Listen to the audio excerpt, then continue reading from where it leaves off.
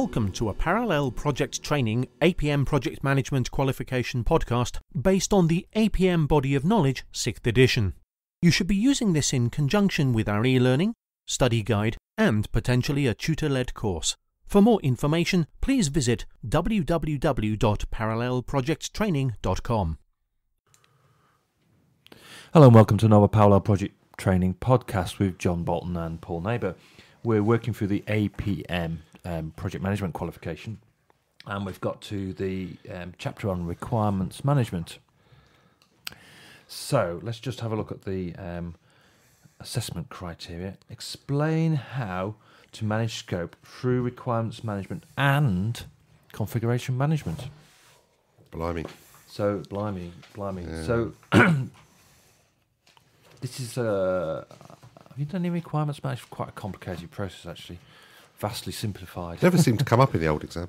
Didn't it? No, never seemed to come. Never There was a question a few years ago. Um, what would go wrong if you failed to capture your requirements properly? Which I thought was quite a, nice question, really. Yeah. Well, what go wrong? What would go wrong? Additional cost, delay, problems with acceptance, lack of clarity about what you're actually doing, um, team demotivation. I think it's a lot more simple than that, isn't it? What? Or just deliver the wrong thing. You deliver the wrong thing, yeah. Yeah. Dissatisfied customer, That's right. dissatisfied users. I think a lot of this is is that there's a lot of models and stuff that you can use. There's lots of systems, aren't there? Yes. Like for requirements analysis. What's Yes. that one called? Um, doors. doors. Doors. It. Yeah. Yeah, whenever I've done met requirements management, it's always been a sort of specialist little team, systems engineers who sort of sit in the corner and sit in the corner sort of build We've just disenfranchised a good portion of our potential audience. Yes, but but they spend a lot of time building a requirements database, you know, and, and tracking it through. Yeah. So it's quite a um, specialist topic. yeah. So we came up, we identified this process for requirements: capture the requirements, analyze the requirements, document the requirements, and then test the requirements. Um, so we should work through that. Why not? So capture requirements. So we've got some different ways that you can go and capture requirements, talk to the users, brainstorming, Yeah, ask them what they want, basically. ask them what they want. and document it in some sensible way. Yes. Mm. I mean, the same old, same old, same old comes up really. Brainstorming and questionnaires, Contract analysis. contract requirements, prototyping. That's quite good actually because you sort of give them a clue. That's what Agile's a lot about, isn't it? You know, sort of give them a bit now and see what doing whether you like it or not. Doing waves. Yeah, see whether you like it or not, and if not, you know, throw it away and start again. Yeah, they call requirements features, user stories, Mm, That's right. Yeah. Uh-huh. user stories. Yeah. Well, that's it's, uh, I can see how that works with software. Yes. a lot more, a lot more than a also use a story for a pressure vessel and a reactor. You know? yes. We can, let's not talk about. We could get distracted by it. We'll do an agile podcast. All right, maybe. Agile versus Oh, waterfall oh, podcast. oh. It'll be a different. Yes. but anyway, I mean, requirements capture is, is all about going and talking to the customers, isn't it? Finding Yes. Yes. I always find it's quite organic. Really. It's difficult to say. Right, we've captured the requirements Mm. now. Tick, done. Yes, because they evolve, Because they evolve. which is why requirements is, is part of scope management, really. Because Yes. you, you sort of do that first pass, don't you? What do you think you want? yes. And they tell you what they think they want. Then And you you, write it all it. down, and you show them it. They go, "I don't want that." Don't want that. Yes. yeah, so, oh, I want a ball. Here's a ball. No, not that ball. yeah, I once trained a lady who um, worked on Bond Street. She'd built a jewellers. They were bespoke jewellers on Bond Street, and most of their customers were in overseas market. And um, she'd built all sorts of 3D models and visualizations of what this new shop was going to be like. Yes. I got the builder in, build it, basically remodeled one of the one of the prestigious shops in Bond Street, and um, the the owner walked in and said, "Don't like it, take it all out, Start again. start again." it wasn't good enough, wasn't high enough spec. Mm, I, I can see that. I mean, But but I said to her, "What?"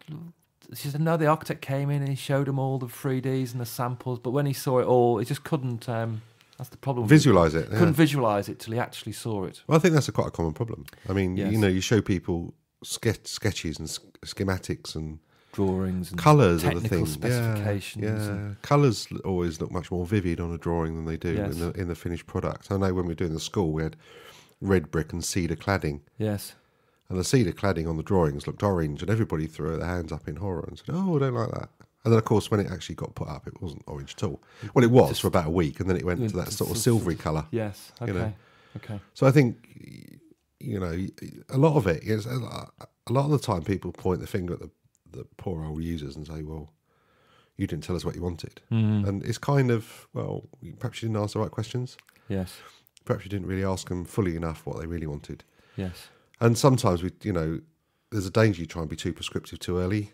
So I give them the solution without asking them enough about what the problem is. And I think a lot of that requirements capture, it, all of these sort of processes, this is supposed to go in the project management plan, I guess.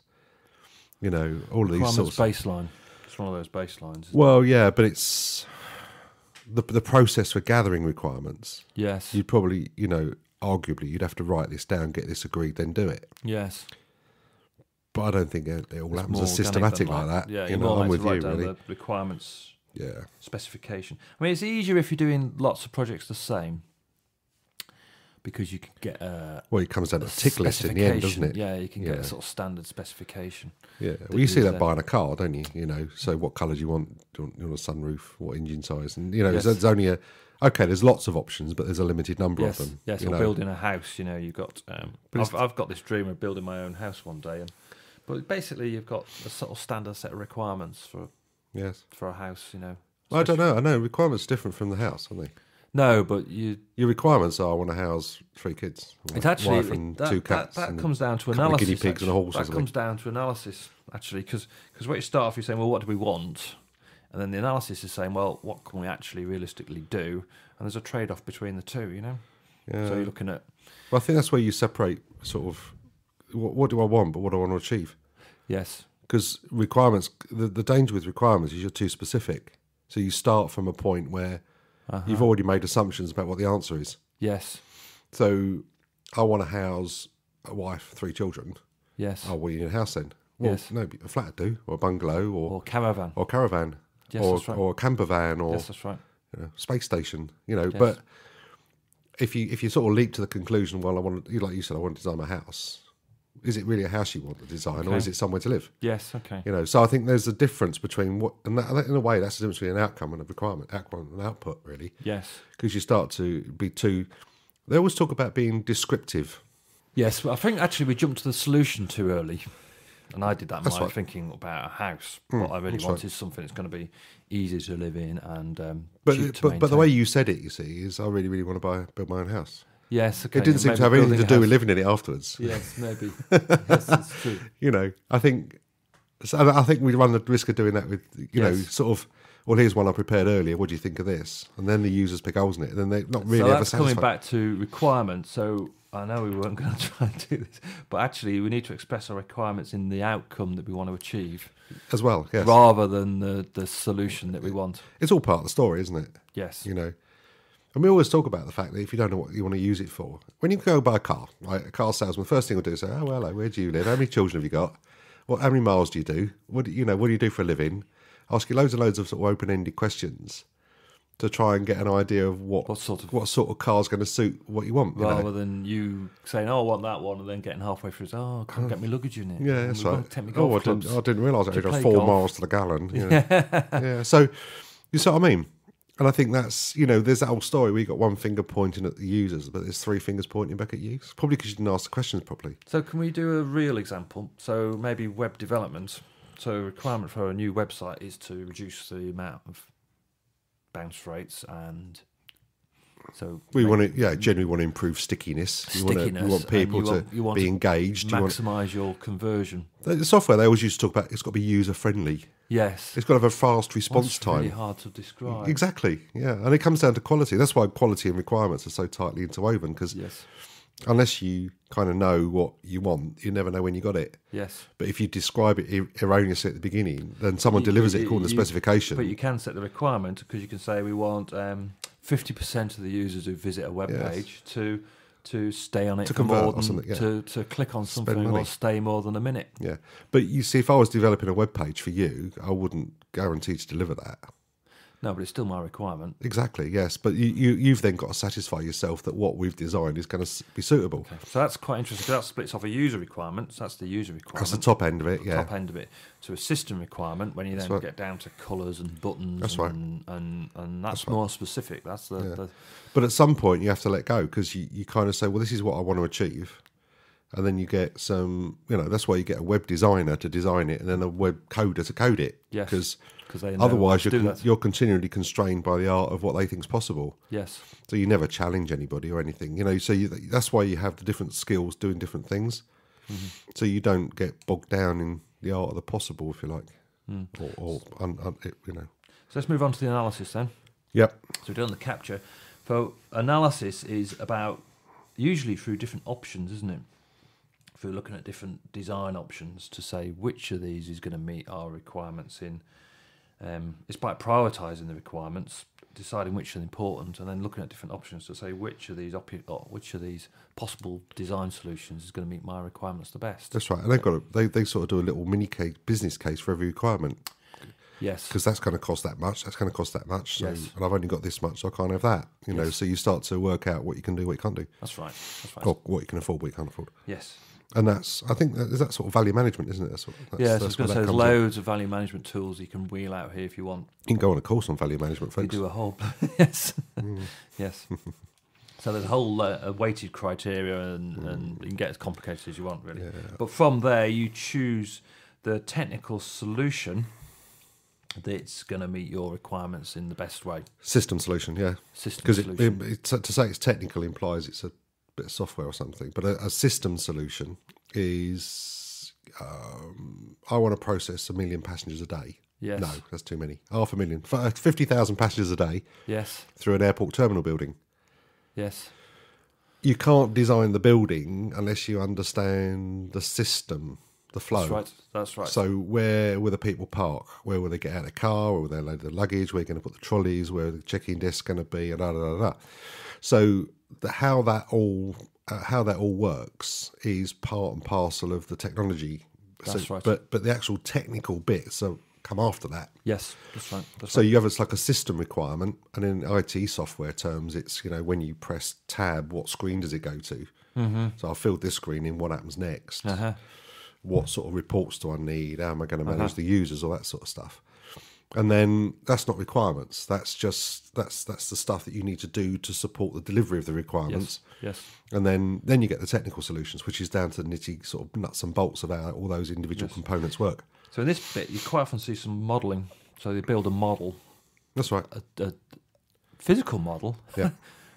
or a um, technical or a mathematical model, or a computer model of the, of right. the system you're building.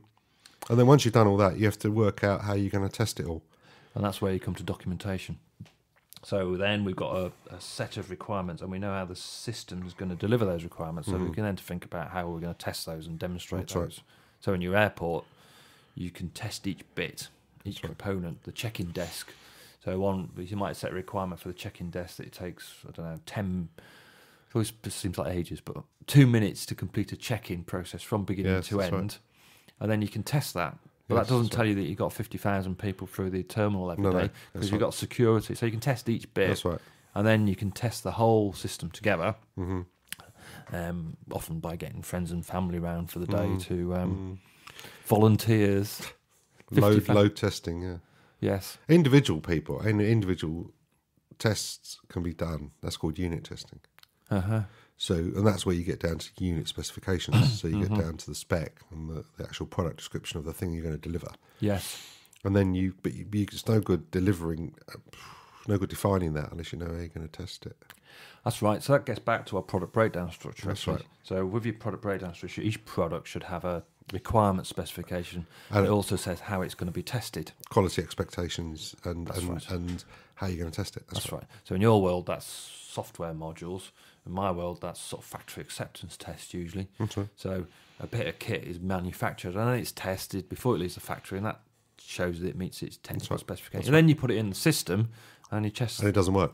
It doesn't work because Yeah. of the integration That's with the other Yeah, so the data coming out of one bit doesn't is not the the same as bit- the expecting yeah, because that's no one told them what. With the other bits of kit that other manufacturers have supplied. That's right. Yeah, yeah. 'cause So- it won't be our fault, of course. So that's unit testing and system testing. Mm, mm, so right. you've got these different levels. You've got the user wants 50,000 people a day. Mm-hmm. You can test each. Um, You can design a system to do that, which you can test with a model. Actually, you can you can test it with the model, so Mm-hmm. you can simulate how it's going to work quite often because you can't get 50,000 people for Mm-hmm. the day till the day you open, and then you can test each component on a or unit as a Well, they do all sorts of. I mean, in, test. in airports, they do all sorts of modelling on crowd behaviour and all that sure. sort of thing, don't they? Yes, How people move around buildings and where the focal points are. yes. Flood modelling as well is the other one that I've come across. Um, where you've got the people who work for the Environment Agency and they model the likelihood of flooding, you know. Mhm. But you can't, you know, because you you might you're trying to avoid a hundred year event, so yeah, yeah. you can't wait a hundred years to test it. You have to. yeah. But that's semi-chaotic, isn't it? I mean, that's, That's right. That's yeah. right. Well, I don't right. think it'd semi-chaotic, but it's chaotic. Yeah. So then you get requirements testing, and um, that's it. Job done, really. You've got to have a test for everything you do. And Um, that's where you need a database really, because you've got requirements at a functional level, you've got requirements at a right. system level, and requirements at a unit level, and I'm not sure. Joining them all up I'm not sure how systematic it all is, to be honest with you. But it depends how formal your systems engineering is. It depends how, if it's a safety critical system or something like that. You Yeah, okay. show traceability of the requirements from the top level down to the. You have to prove yes, that my reactor's not going to blow up. yeah, yeah, that's probably worth doing. yeah, but I expect most projects don't get involved. in. So that comes to our V model. yeah, So all that, all the V model is says you start off with these functional requirements at the top level, which are what the users wants, and then you, you have a set of system requirements, a set of product requirements, and um, you sort of come down the V on the, the left hand side, and then you go back up the V, testing each of those as you go. Yeah, that's right. The only bit That's we're missing is the iterative bit, really. So as part of the design Yeah. process, you might go back and say, "Well, you can't actually have fifty thousand, but we can do forty-five thousand. Mm, So do you want to flex your requirement? Really? mm, okay, and then the next bit of this is all about configuration management, which is Should we stop and do another podcast on that? Because we've done seventeen minutes. um, it's in the same assessment thing. I know, I know.